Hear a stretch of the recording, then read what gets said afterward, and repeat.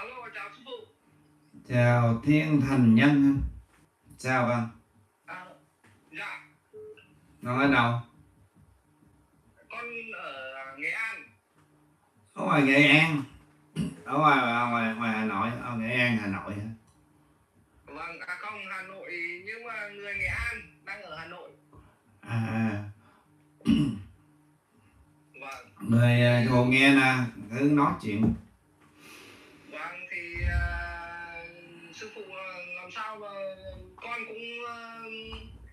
mười mấy năm nay cũng à, làm về tâm linh nha sư phụ. Tức là nó nhiều thứ thì nó ở, Việt Nam này nó cũng có kiểu à, các cái à, linh căn xuống cần xuống trần đấy sư phụ. Linh căn xuống trần hả vâng nhiều lắm.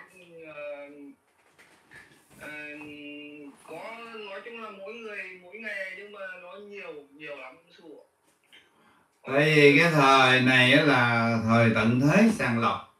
Cho nên những uh, linh căn và thiên lý thần á họ đều xuống thế gian để muốn lập công với thượng đế. Nhưng mà trong lúc đó đó họ mượn những cái xác phàm. Thì lúc đầu xác phàm còn không tiền không bạc thì đi đúng đường. Đến khi mà xác phàm chút nổi danh nghĩa là tiền dính với tiền bạc thì lại bị mất điển à, rất là nhiều. Ở nước Việt Nam mình là một trong những nước có Phật đầu thai xuống.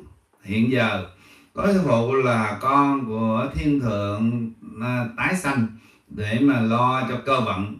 Rồi song song nó có những vị Bồ Tát, những chư thánh khoảng mấy nghìn người. Họ sống lam lũ ở trên nước Việt, họ chờ chờ để mà lập bản phong thần. Rồi chờ gặp Đức Thầy để là, để mà lập hội Long Hoa. Nhưng mà khi mà cái thời gian đó những vị xuống lâu quá rồi mang sắc phàm nghèo quá khổ quá rồi cộng với à, ái ố hỉ nộ nhiều lúc bị mất đi mất đi cái sứ mệnh. Thường lúc mà nhảy dù xuống á, khoảng năm nghìn người bây giờ á, ngồi điếm lại á, không còn vài trăm người nữa. Đi lạc hết rồi bị kéo sát ờ, bị bồ quỷ sát phải đi về hết rồi.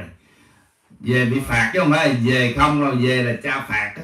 cho nên à, giống như à, một à, những người mà mang nhiệm vụ đi làm lính mà làm không xong á mà còn à, làm hư chuyện lớn thì về dĩ nhiên là bị cấp chỉ huy phạt rồi.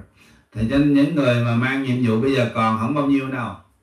Họ đang chờ đức thầy xuất hiện chờ phật di lạc xuất hiện để mà họ bước ra bước ra để mà độ đời.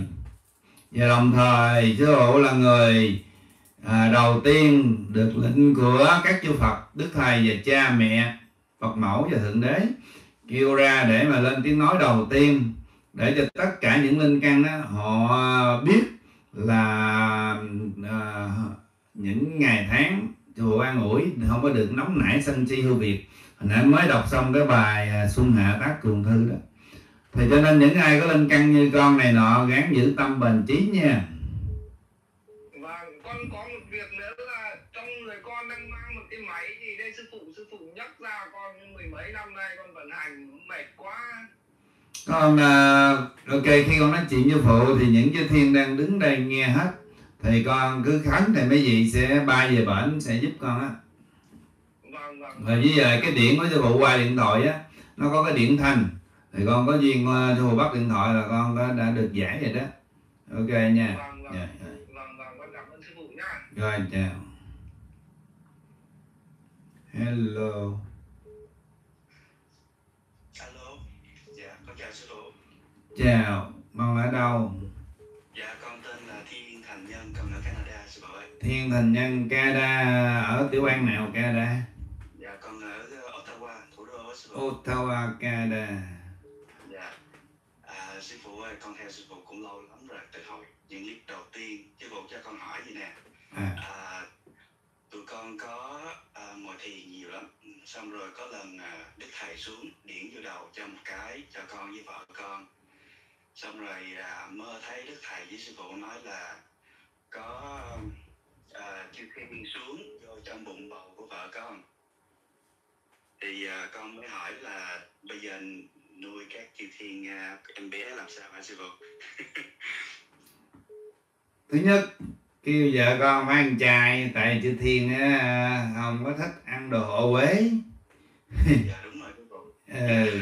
thứ hai kêu vợ con phải đọc kinh để cho chư thiên khoái nghe kinh chứ giờ chư thiên không có thích nhảy đầm. Tại vợ con mình nhảy đầm là chư thiên ở trong bụng nó cũng có tưng có tưng theo sao đúng không? Này đẹp trai con cũng là chư thiên xuống. À, hai chuyện đó con làm vậy thôi là chư thiên trong bụng khoái. Tại vì hôm nay mình ngồi ở đây ở thời đại năm 2023 sư phụ tôn định cha gieo cái hạt giống xuống trần. Song song á bề trên cũng đã tính cho 3.000 năm về sau à, những đứa con ngọc bích mà suốt để mà tiếp tục lo cái đạo thiên tâm sau này để thống nhất thế giới đó là trong tương lai nhân loại á, họ không có phải như bây giờ họ rất là thông minh và rất là hiền từ và rất là à, gọi là nhu mì dung hòa với nhau. Không có không có gây gỗ như bây giờ không có lừa dối nhau như kiểu bây giờ nữa. Thì những đứa đứa nhỏ mà mà ai mà mang bầu nít mà thời nay đó uh, đều là có phước. Không có ai được phá thai trong lúc này. Vì những đứa con ngọc bích đã thượng đế đã xa xuống để mà tiếp tục cho cái đạo trong tương lai á là trên cõi trời xuống không à? Không phải như những cái thời đại ờ, mấy thập kỷ, mấy thập niên trước mà ma quỷ rồi nữa. Mình đẻ ra con toàn là ở Việt Nam ăn chơi ăn quậy là khác nha. Bây giờ là khác à.